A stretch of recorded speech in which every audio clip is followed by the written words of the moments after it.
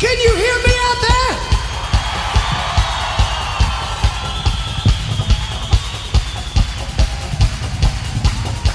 Can you help?